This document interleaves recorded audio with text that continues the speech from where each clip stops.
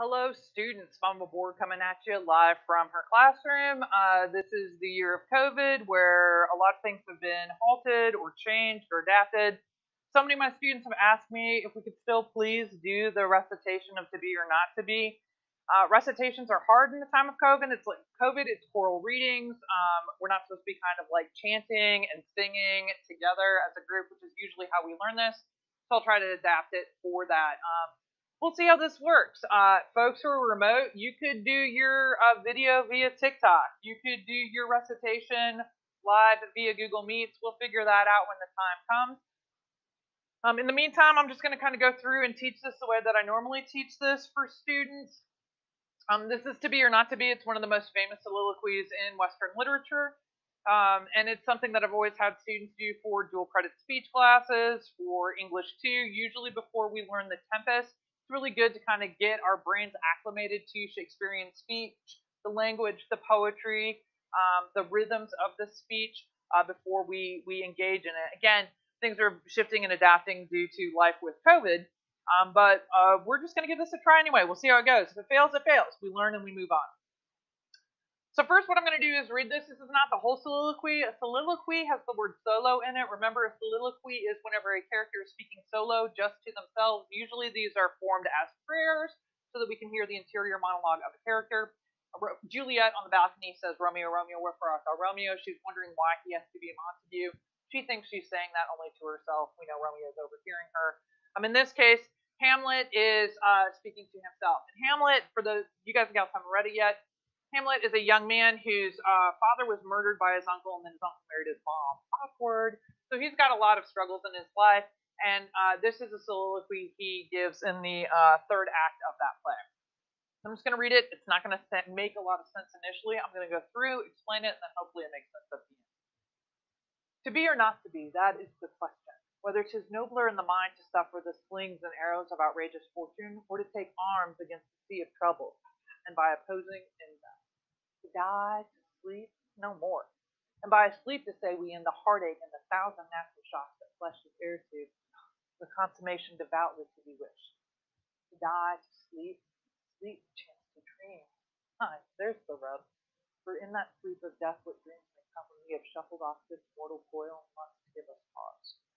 There's the respect. That means Clancy is so long. All right, bunch of words in English. You know English, but you don't really know what this means. Whenever you're reciting something, we usually do three things whenever we're reciting something.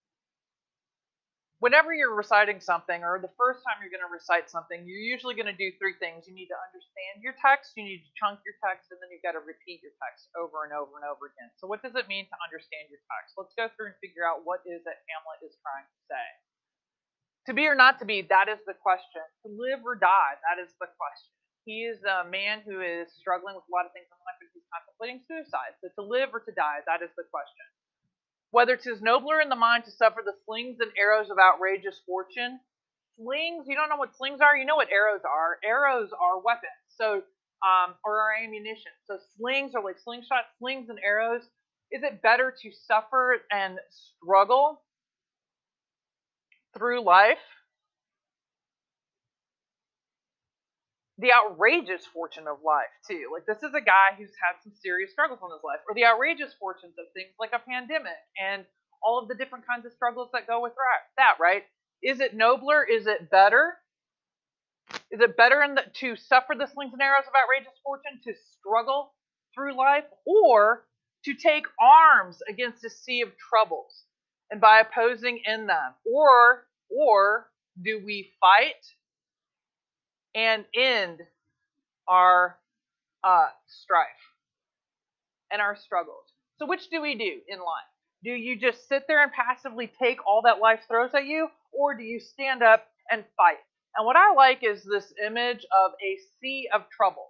I don't know if any of you have ever punched the ocean. I have because I'm a total dork. But punching the ocean doesn't really do much to the ocean. The waves just kind of keep coming, keep coming. What do I like is that he's got here by fighting we can end our troubles, right? So like this is it's a whole it's a whole soliloquy of either ors, to live or to die, to struggle or to fight, right? Like all of these kinds of choices that we can make, and I'm always telling you guys and gals, everything's about choices. And then he says to die to sleep. And what do we know about dashes? Dashes are interruptions. So he interrupts himself. And what does he say? He's like, no, more. It's not just sleep. Sleep. It's not just sleep. We end the heartache and thousand natural shocks that flesh is heir to. To be heir to something means you're going to inherit it. So our body is going to experience a lot of heartaches. This is a janky, broken heart. And natural shocks. Think about your body just constantly being kind of shocked by all of the things that happen in life. This is a consummation. This is an end. Devoutly to be wished. Devoutly means holy. So the holy end to wish that the struggles and suffering and pain of life would end, right? To die, to sleep, he goes back to that again and says death would be like a sleep. And then he says to sleep perchance to dream. And then what does he do? Ah, he interrupts himself again. Dashes are always interruptions in thought. Ah, there's the rub. That's the problem. That's the problem. What happens when we die? What dreams come when we die? For in that sleep of death, what dreams may come when we have shuffled off this mortal coil must give us pause. We have to hesitate when engaging in these kinds of thoughts. What dreams may come when we have shuffled off this mortal coil, when we have taken, I always like shuffled off this mortal coil is like our body is the the house our mortal coil, our mortal bodies are the house for our soul, right? And so shuffled off this mortal coil, it's like take off, um, it's like taking off clothes. Except it's like our body is closed, like we're shuffling off our mortal coil. We're taking off our body. Um, what dreams come whenever we get rid of our bodies must give us pause. Aha! We have to wait. We need to think about what dreams are going to come. Are those dreams of heaven or those dreams of hell? If you commit suicide, those are going to be dreams of hell. There are consequences for engaging in killing yourself and committing suicide. Once we have shuffled off this mortal coil, must give us pause. Ah, we've got to wait because there are consequences to these actions. Almost like Hamlet is taking a meta moment Earlier this semester, I had you guys and gals read articles about taking a meta moment whenever things are overly emotional to avoid making bad choices, and that's what Hamlet's doing here. You guys and gals say Shakespeare's so old now to touch, but he's doing exactly the same kinds of things that we're teaching you guys and gals. Ah, that's got to give us pause. We can't just jump into this uh, action. There's the respect that makes calamity of so long life. We've got to respect the consequences of our actions. We've got to respect the long term consequences of death. And that's what makes life calamity. Calamity is sad.